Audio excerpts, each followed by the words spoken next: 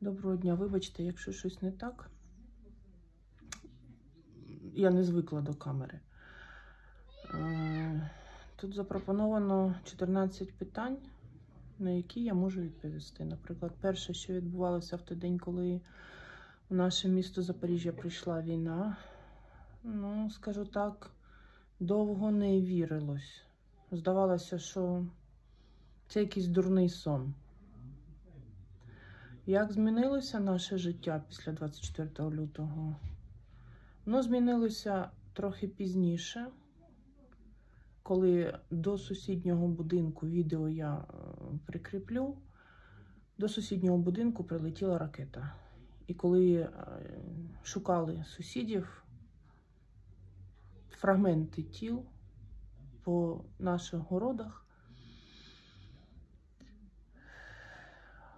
е, мабуть, мабуть, це і був найстрашніший момент з початку війни.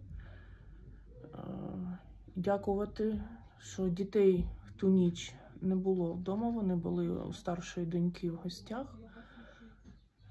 Вдома була тільки я сама. Тому, може, так легше було перенести все це. До війни я працювала продавчиною в кіоску. Це молоко, морозиво. Е, Ми живемо не на окупованій території. Зараз ми виїхали, звісно, тому що наш будинок непридатний до житла. Е, Допомогу. Допомогу ми отримуємо це допомога продуктами харчування. Є в нас тут, де ми зараз виїхали, є волонтерські центри, де ми можемо ну, хоч якийсь одяг собі взяти.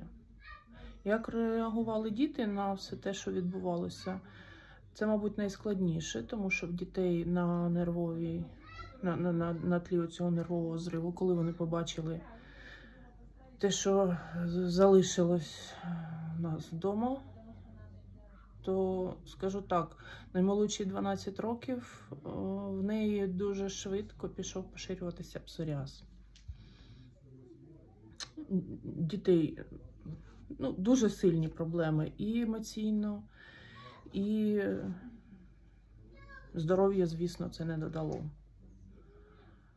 Скільки років моїм дітям? Сьоме запитання, як їх звати? Молодшій 12, звати Поліна.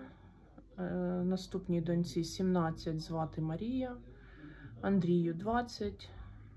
Е, Це ті діти, які живуть з нами, які навчаються. Старші Анна та Костянтин, вони з нами не живуть. Вони вже самостійні, в- в них родини, вони самі себе забезпечують.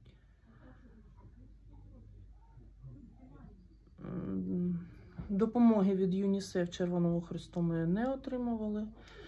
Житло в нас не безкоштовне, ми його орендуємо, тому що знайти житло з такою кількістю людей і тваринами неможливо.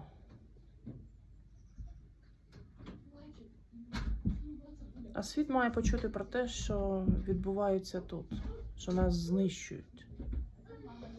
Знищують, не дивлячись ні на кому скільки років, ні на те, де ми і як ми живемо.